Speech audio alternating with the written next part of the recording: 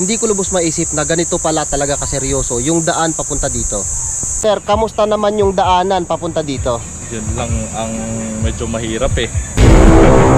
Pag, pag in-improve nila yan, siguro mas maraming Pupunta. pupunta, dito. Oo. Na yung daanan ay Mhm. lubak-lubak, madaming mga bato-bato. Pero ang tanong, worth it nga ba yung pagdaan mo ng ganito papunta dito? Well, let's find out. May panibagong adventure na naman tayo at sinisigurado ko na kahit kayo ay magugustuhan ninyo ang lugar na ito. Promise, kung hindi nyo ito magustuhan, imposible. Kasi ako, matagal ko nang pinapangarap na puntahan ito. Walang iba, kundi ang Koto Mines ng Sambales. Kaya ano pang hinihintay nyo? Tara!